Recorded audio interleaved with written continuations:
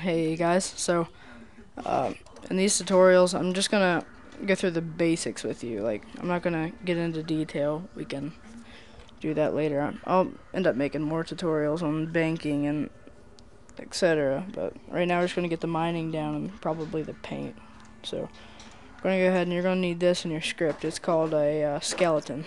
So these are your imports. The imports is what makes your script run. Uh, this is your name, the name of the script, author, description. Uh, your on start is what the script's going to do when you start it.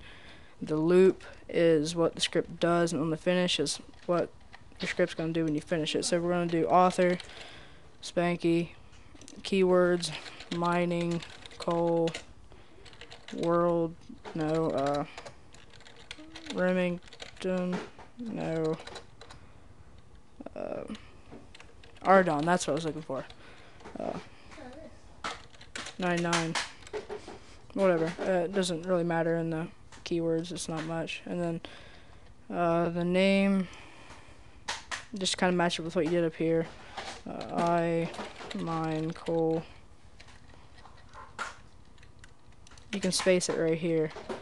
Um, description, Ardougne, coal, miner with banking, period, smiley face. Version, we haven't edited it yet, so it's going to be uh, 1.0. And then that's that, and then right here, the extend scripts. I always space that anyways, right there. Uh, this is what, whatever you save up here, whatever you save this as, has to be the same down here without the dot .java. So this one has to be I mine coal. And yes, it is case sensitive everything. Um, so right here on start, we want it to log, and the log it's down at the bottom. It'll just it'll say it'll come up and say something. Uh, log welcome to I drop coal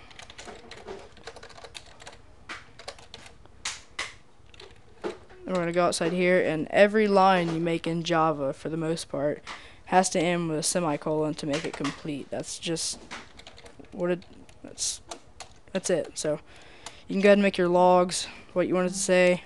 Um,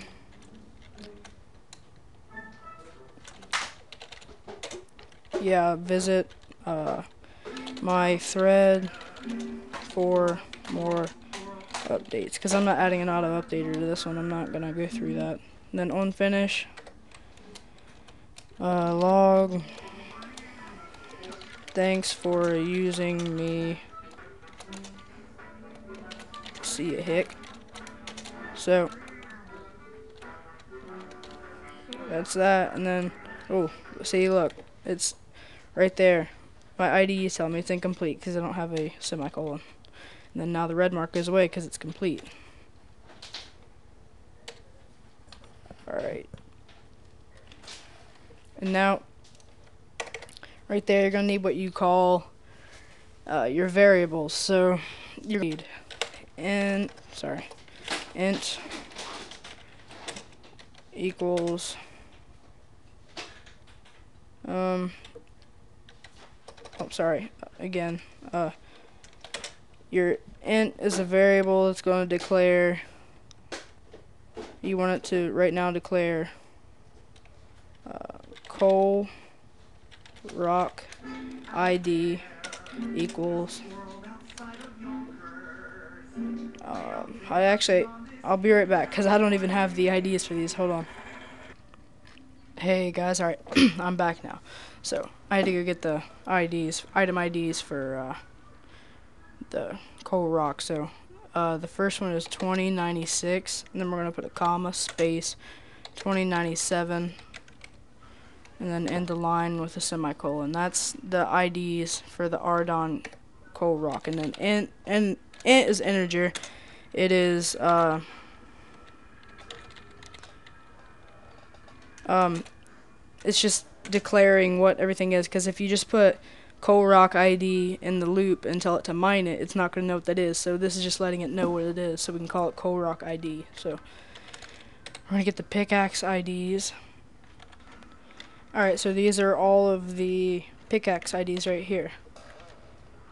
And that with a semicolon. And another thing, if you're like one of those fancy people that, oh, I want my stuff to look cool and everything, well, for your log messages, you can add colors. You can go color dot, I like blue. Oh my god, a little lag going on. Yep. Running too much. Alright, you can go color blue space, and then that'll give it a, uh, that'll make it blue.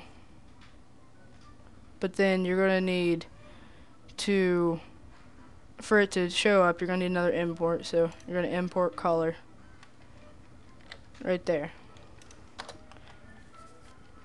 And then we're to go down here and we can do it again. Color, oh shit. Color, hmm, what color we want. I've never used the Cyan or however the hell you say it. We can try that, I guess. I mean, what's it gonna hurt? I bet yellow's kind of cool. Pink, orange. Yeah, I've never used any of these damn colors. We'll do cyan. Yeah, let's go for that. Alright. Um, then we're gonna go down the on finish down here. Color.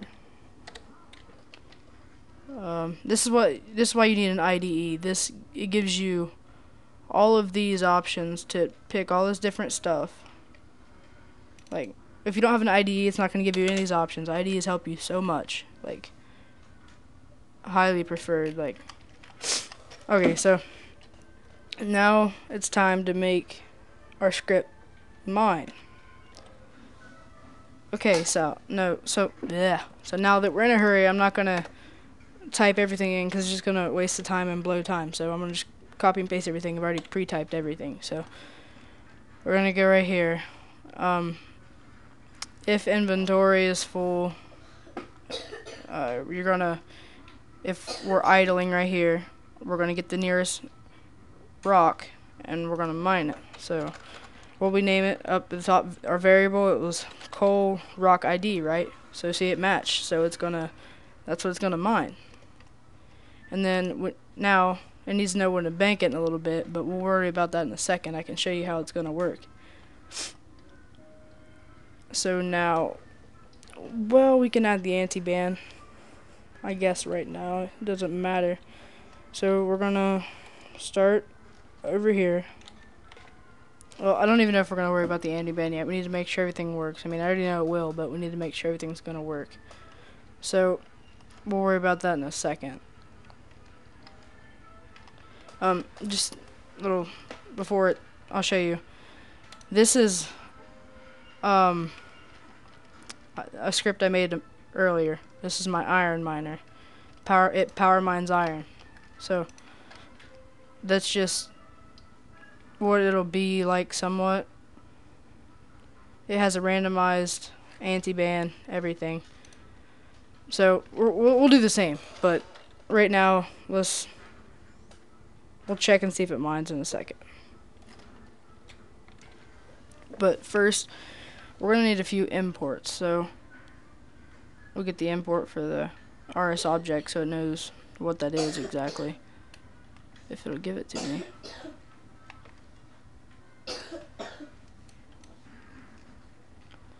It isn't, of course. I'm going to have to go get it. Alright, so the import for the RS object, we're going to go ahead and add it right there. That's the import. And then I think we have everything we need right now. Uh, yeah. So this will mine right now. So if you don't know how, you can go ahead and compile. Well, just go ahead and save it and compile it from the from your folder. So we're gonna go ahead and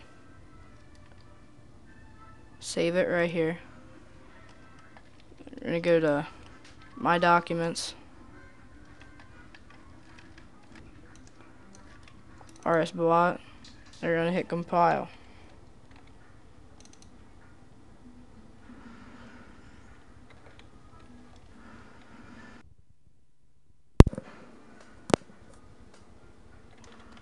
Sorry, that little error right there was just something that I had mistyped. So, we're to go ahead and uh, compile it again. Gonna hit compile.